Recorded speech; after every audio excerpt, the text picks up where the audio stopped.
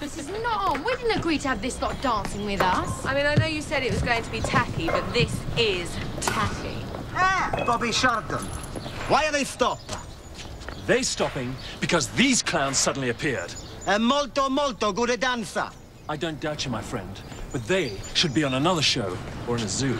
I mean, come on, look at his muscles. He looks like he's got ferrets burrowing under there or something. I know. I'm sorting it out. Over here. Do you think that's real down there? It looks like a pair of rolled up socks to me.